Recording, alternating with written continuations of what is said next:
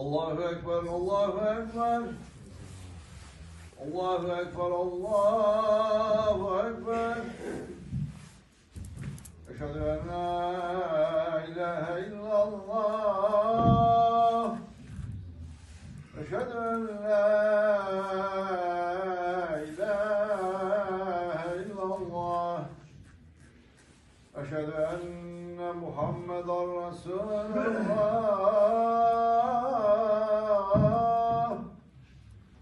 أشهد أن محمدا رسول الله.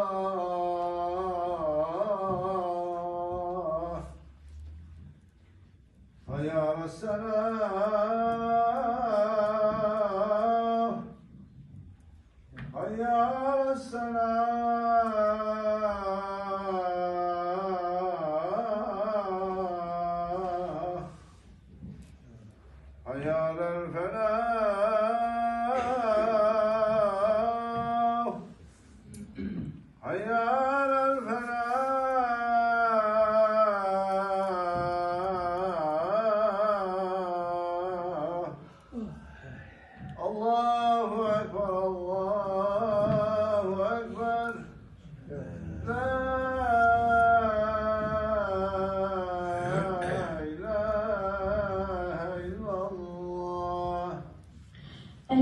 لله الحمد لله الحمد لله نحمده ونستعينه ونستغفره ونعوذ بالله من شرور أنفسنا ومن سيئات أعمالنا.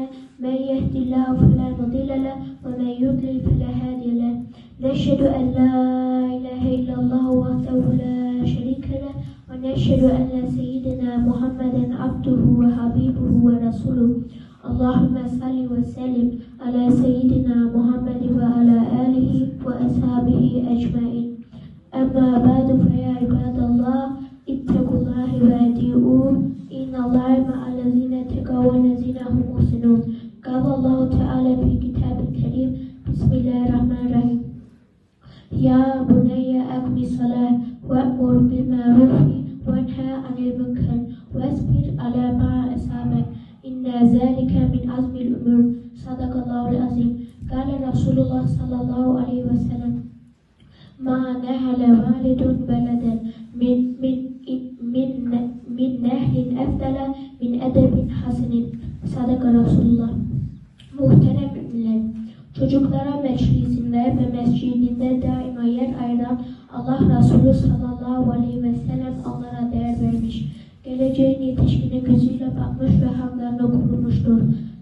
Çocuğun Kur'an ifadesiyle dünya hayatının süsü, Peygamber Efendimizin diliyle de kişinin amel defterini açık tutacak iyiliği kaynağıdır.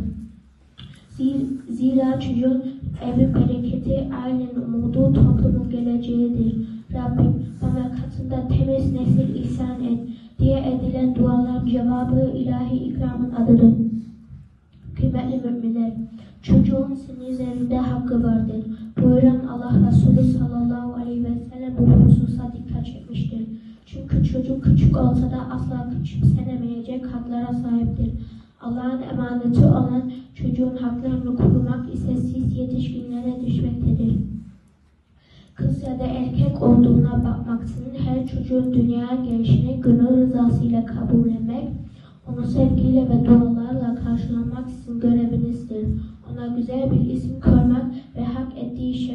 Göstermek, e, hak ettiği şefkati göstermek, kardeşleriyle arasında ayrım yapmadan adaleti gözetmek sizin sorumluluğunuzdur. Yavrularınızı helal ve sağlıklı gıdalarla büyütmeli, e, gerek, e, eğitimlerine gereken hassasiyeti göstermeli. Sadece maddi ihtiyaçlarını değil, manevi ihtiyaçlarını da karşılamalısınız. Sosyal hayatı tanımaları, kültürlerine aşina olmaları, örf ve adetlerini öğrenmeleri için siz çocuklarınıza rehberlik etmelisiniz. E, zira çocuk sosyal e, ve kültürel gelişimi, bedensel ve zihinsel eğitimi, dini ve ahlaki terbiyesi ailede başlar. Muhterem ya- yarınlarımızın ümidi olan hayırlı nesiller bilinçli anne ve babaların eseri olacaktır. Unutmayalım ki hakları ihlal edilerek ezilen çocuk ad- adaletinin değerini bilemez. Şiddete maruz kalarak örselenen çocuk merhametin anlamını çözemez. E, kişiliği yok sayılarak aşağılanan çocuk, aşağılanan çocuk e, geleceğin geleceğin e, şey, geleceğin bir şekilde sa- sağlıklı bir şekilde inşa edemez. Aziz Müslümanlar, hiç, e,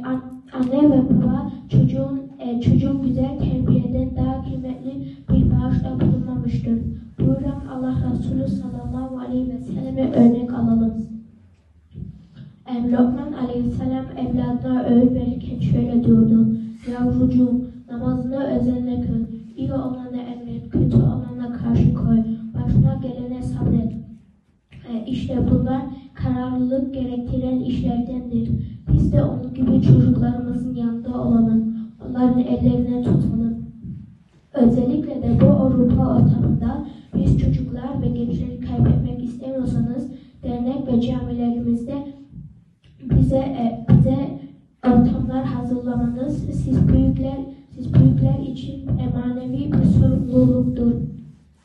Hutbemi Kur'an Kur'an bize öğrettiği bir dua ile bitirmek, bitirmek istiyorum. Rabbimiz eşlerimizi ve çocuklarımızı bize göz aydınlığı kıl. Bize Allah'a karşı gelmekten sakınanlara önder eyle.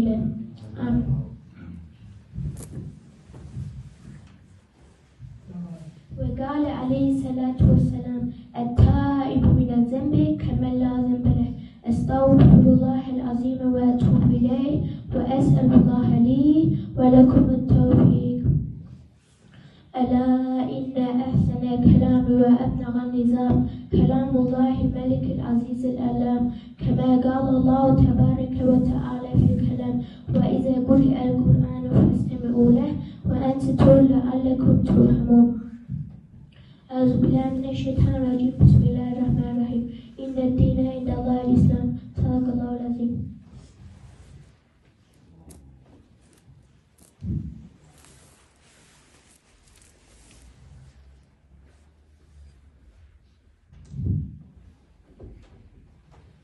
الحمد لله الحمد لله الحمد لله الحمد الكاملين والصلاة والسلام على رسولنا محمد وعلى آله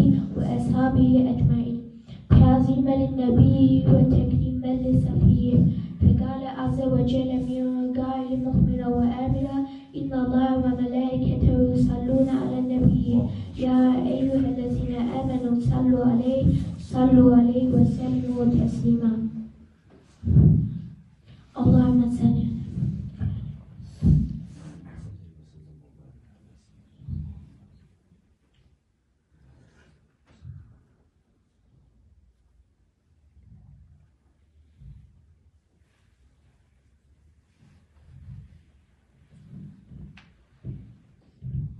يا عباد الله اتقوا الله وأطيعوه.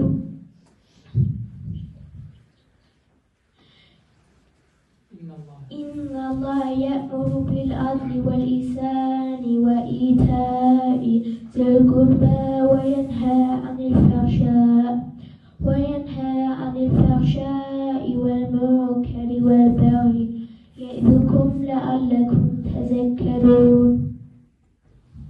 Okuduğum ayeti kerimede Yüce Allah Mealen şöyle buyurur. Şüphesiz ki Allah adaleti, yararlı amelleri en güzel bir şekilde yapmayı ve akrabalara yardım etmeyi emrediyor. Her türlü fenasızlığı ve fuhşiyatı ise yasaklar.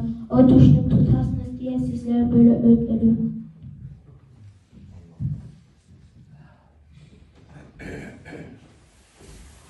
Allahu Ekber, Allahu Ekber, Allahu Ekber, Allah